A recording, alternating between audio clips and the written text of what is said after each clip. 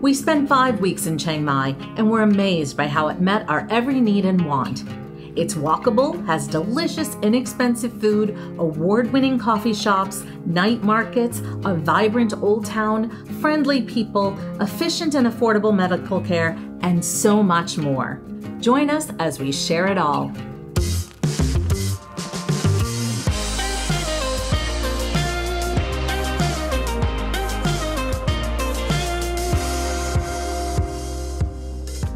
Welcome back to Finding Gina Marie. We share our lives as full time travelers and the connections we make along the way. If you're new here, welcome. I'm Judy. And I'm Kevin. Thailand was at the top of our places we wanted to visit in Southeast Asia, and it did not disappoint. We'll break down everything that we love about Chiang Mai so that it's at the top of your list too. And for more logistical information, check out our video called The Top 22 Tips That You're Not Going to Want to Miss. And stick around to the end where we talk all about prices. We stayed in a modern hipster area called Nimman. This area is bounded by Hue Kaoyao Road on the north and sandwiches Nimmanhaemin Road on the east and west sides. The village on the east side was where we walked, dined, and explored most of the time. So if all you want to do is chill and enjoy a variety of restaurants, you never even have to leave this area. Yeah, it's a little focused on tourists, and you won't get the cheapest Thai cuisine here. But we loved avoiding crossing busy multi lane streets when we wanted our morning coffee or a quick dinner. Our apartment building even had a back gate that let us walk through another Palm Springs complex as a shortcut. Our Airbnb at Palm Springs Nimman Fountain wasn't the cheapest one, but it had a gym, a pool, and as much bottled water as we needed, which meant we didn't need to haul two liter plastic bottles every day from a store. If you're looking for someplace else, there's a backpacker area that's also cool, that's even cheaper. And staying in Old City is also about the same price as Nimman. Since we scheduled medical exams at the Chiang Mai Ram Medical Center, it was convenient that our location was only 15 minute walk from that place. And walking 15 minutes more gets you to the Three Kings Monument in Old City. Watch your step though, you'll have to walk on the side of the road and sometimes sidewalks aren't in great condition. And between Nimman and Old City, we found plenty of photo-worthy sites, including the Mae Ping River, the Old Wall, and several temples that we could pop in and out of. Pro tip, wearing sandals makes it easier to quickly visit the inside of the temples.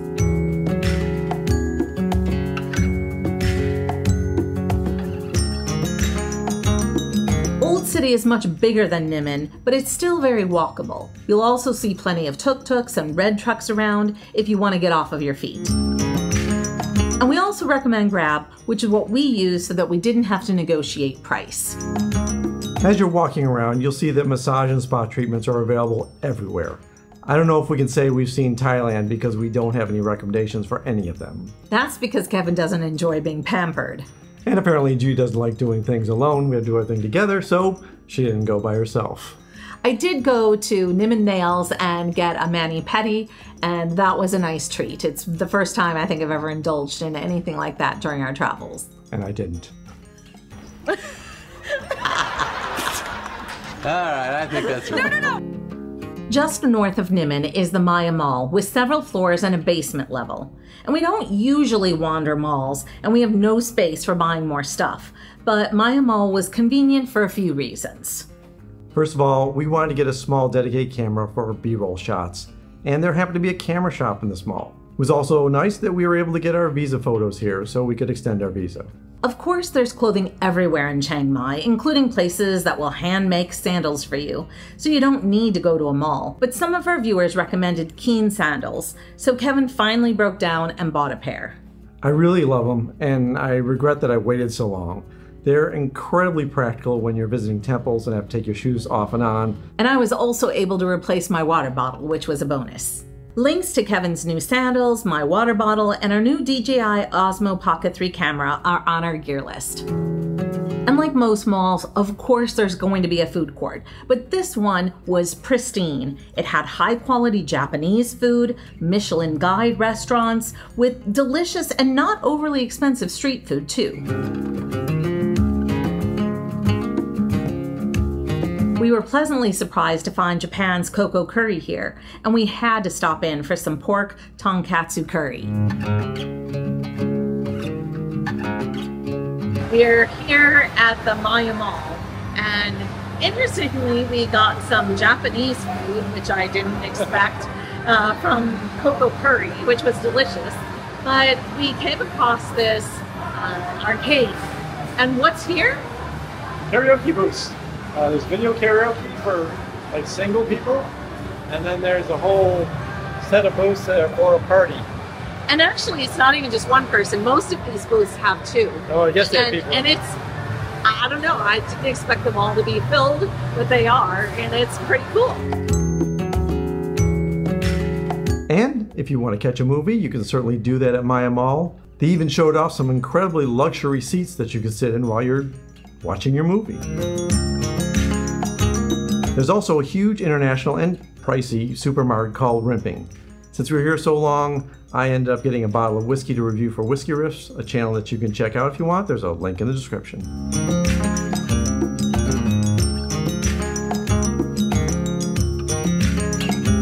Crossing the busy intersection to Maya Mall was time consuming due to its multiple traffic signals, but one Nimman shopping center was five minutes from our apartment and filled with tourist friendly restaurants and shops. You can walk in nearly any direction and find something interesting to explore. We love getting smoothies and frozen fruit juices from all the local stands and nearly every restaurant.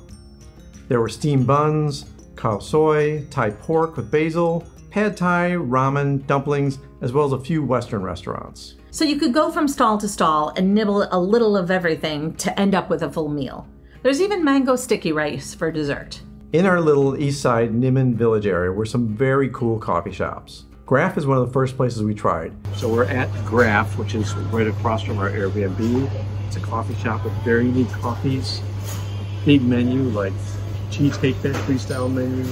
So many offerings. And this is the Magma, which is espresso, avocado, and almond milk.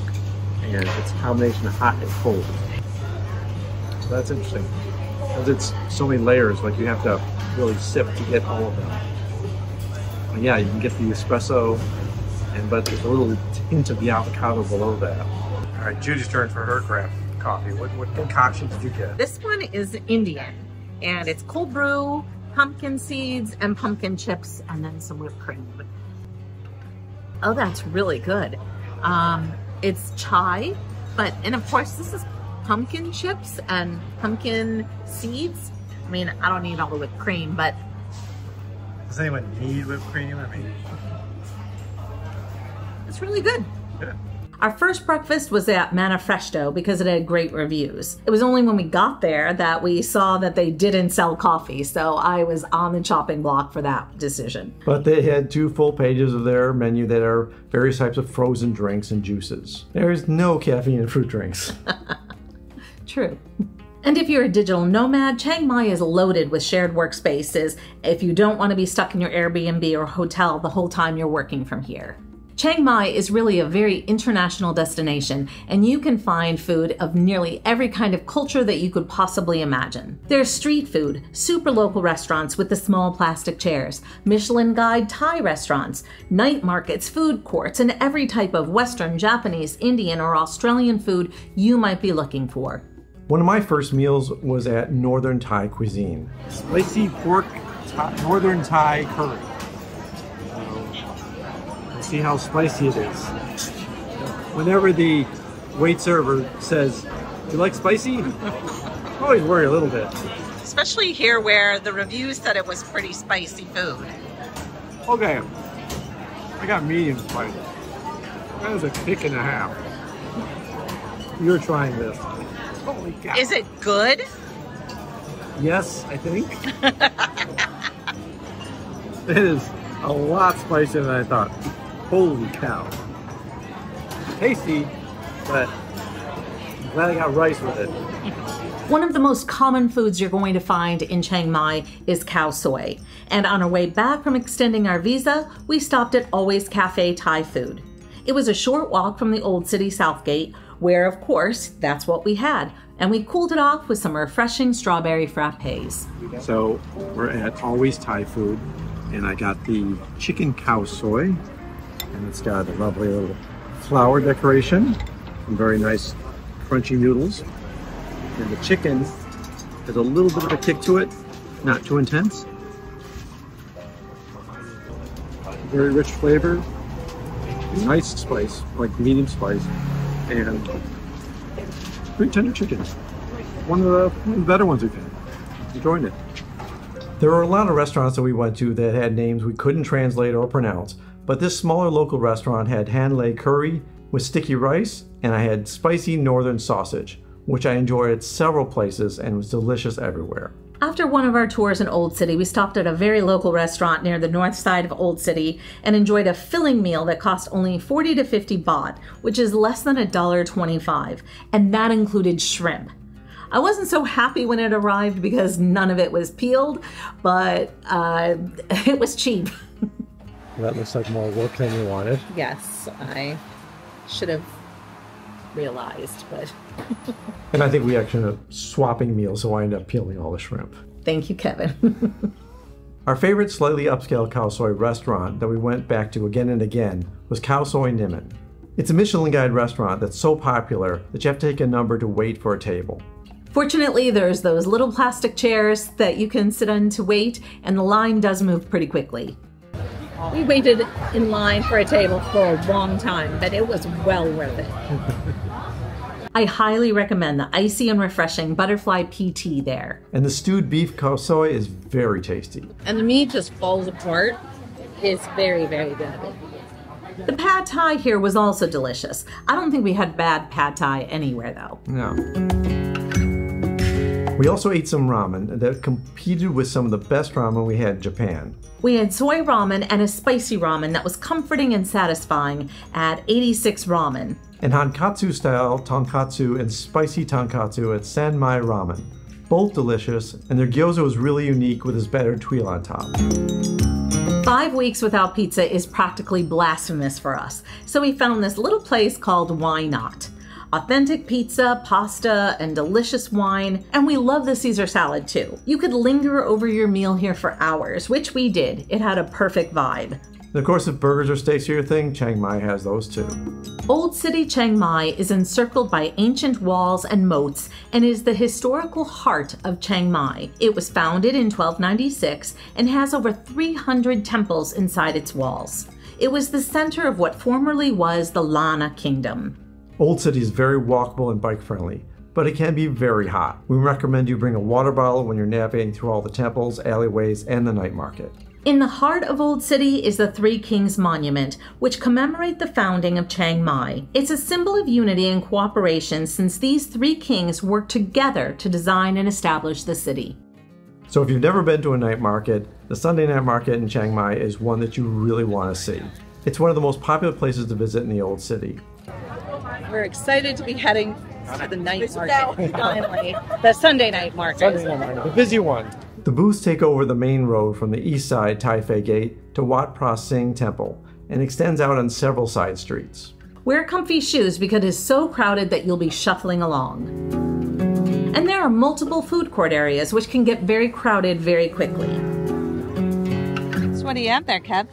I have some fried fish, no idea what kind of fish, with a little spicy sauce on it. But it looked good, looked very authentic. Sauce is a little sweet. Expecting it to be um, spicier. Bread is really good. It actually looked like a sweet and sour sauce. Yeah, So that's fish inside there. yeah. yeah it looks like it's a um, could be a catfish, could be could be anything. I don't know. It's very light, very tasty. Good choice. Very happy with it. Haven't had enough fish here. If you go to these food court areas early, you can fill up before they get too busy and make it hard to move around. Okay, so we got the uh, the grilled meat and vegetables. Yes, and it's got kind of a barbecue on it. Mmm. That is so tender. Yeah. So you need to while, while the camera's on, you need to try some of my fish. Nice, huh? It's Very light. Well, that's a thick, thick crust of batter, Yeah. but the fish itself Fish is itself, really right. light. Mm-hmm. We were there at 5:30 and that was a good thing.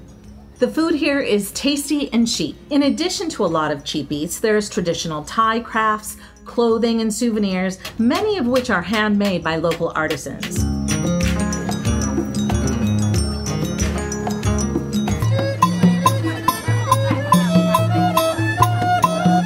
Some small bills so you can donate to the musicians along the way, many of whom are disabled.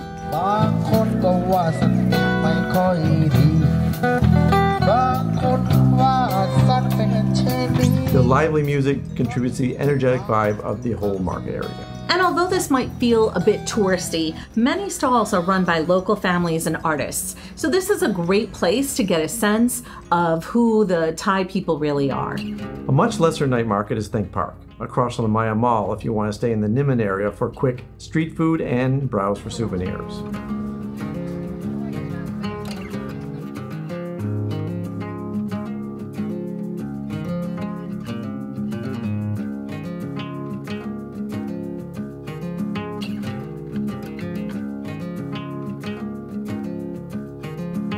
If you're interested in seeing temples in Chiang Mai, you don't have to go very far. In fact, right after you're finished eating at the night market, you can bump into various temples all along the route. And it was fun to take some small detours and see some of them.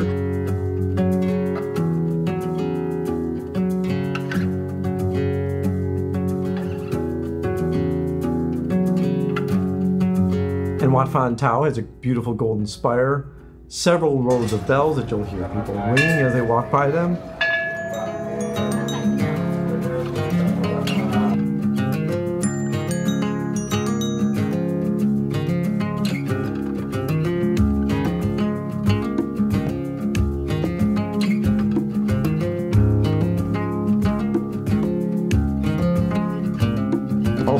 Largest food courts is surrounding this temple.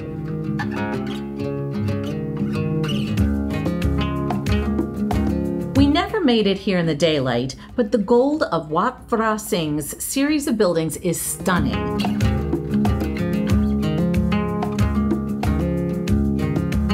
It's near the end of the Sunday market and has a lovely walking path with Buddhist monk statues. It was built in the 14th century and is the focal point for Thai New Year when the Buddha here is paraded throughout the streets.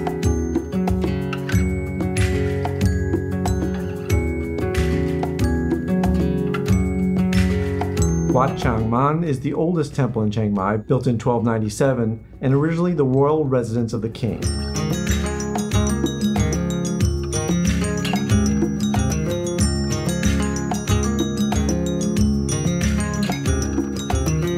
Wat Chet Lin is a small temple embedded within a local neighborhood.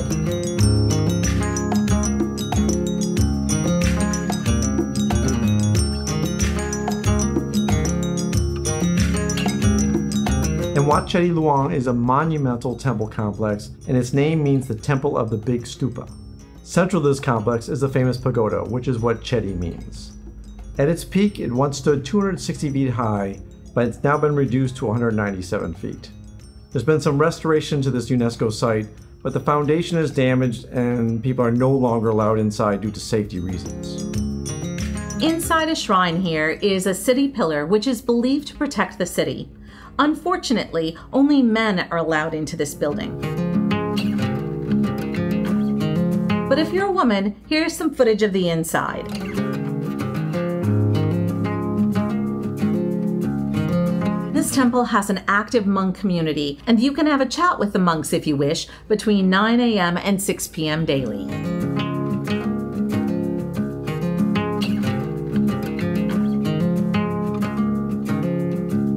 Many of these temples have Naga serpents surrounding the staircase leading to the temple. These mythical creatures are commonly used in Lanna temple architecture because they are believed to protect the temple and its visitors. And lastly, here's Wat Lak Moli, an active Buddhist temple over 600 years old and founded by the ruler of the Lanna Kingdom.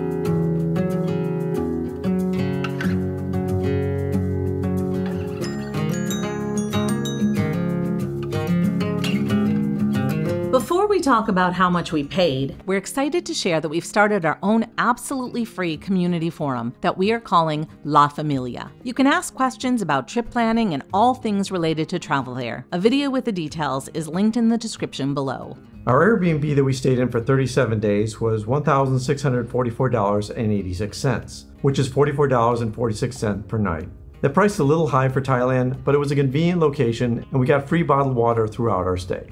Extending our stay in Thailand cost 1900 Thai baht a piece, and that needed to be paid in cash at the immigration office. Our historic bike tour cost $96, which was a bit too pricey for what we got from it. But it's on sale now for $44.16 per person. The only temples we had to pay for were the Silver Temple, costing a donation of 50 Thai baht a piece, and Wat Chedi Luang, which is 40 baht per person. My regular mani pedi was 600 Thai baht. If you want to slow things down a bit, we took a countryside tour and had some very local experiences. It cost us $65.95 for both of us for four hours. There's a link to the video in the description below. At Roastery Coffee Shop, cappuccino and flat white cost 176 Thai baht total. Mama's sandwich, Thai pork bagel, and Kevin's ham, egg, and cheese bagel were 179 baht a piece and kept us full until dinner. At Always Cafe, we paid 320 baht for two khao soi meals and two strawberry frappes. A warming bowl of Japanese ramen at 86 ramen was 99 baht for soy ramen, and spicy ramen was 129 baht. Hakata tonkatsu ramen and spicy ramen both were 185 baht a piece at Sanmai Ramen Nimmons. Pork gyoza was 120 baht. Our total at Khao Soi Nimman was 505 baht, which breaks down to 175 baht for its beef khao soi, 95 baht for spring rolls, braised sliced beef with rice was 140 baht, 75 baht for butterfly pea tea, and 10 baht for bottled water. Why Not's extra large pizza with plenty of leftovers was 390 baht, and a glass of their wine cost 210 baht. Caesar salad for sharing was 200 baht. Smoothies at one Nimman were 50 baht, you can choose whether you want sugar in it or not, or even yogurt. Wonder Smoothie Sol sells their fruit frappes for 60 baht. And Coco curry at Maya Mall was 210 baht. At one of the restaurants with a name we couldn't pronounce, Hanlei curry with sticky rice and my spicy northern sausage with rice were under $7, including two waters. For more about our experiences in Chiang Mai, check out the playlist linked below. Next week, we will be in Hoi An, back to Vietnam at the recommendation of several of our viewers, so you're not going to want to miss those episodes. Subscribe if you haven't already. Yeah, North and South Vietnam were very different from Central, and we're really loving our time here so far. And don't forget to visit findingginamarie.com, where you can find articles, tips, and our community forum. Until next time, Until next time. I think I've ever indulged in anything like that during our travels. And I didn't.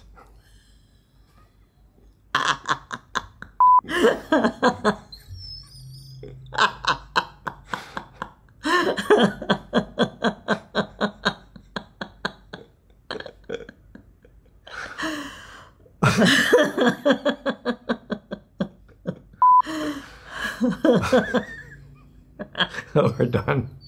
We're done. We're, we're gonna we're gonna get this done so quickly too. Okay. She says K. Still laughing. there we go. That was like a Seinfeld outtake. We're never gonna get going. Waste my words. We've lost Elaine. Should we do that again? Without all the laughter. but I do need to wipe my eyes.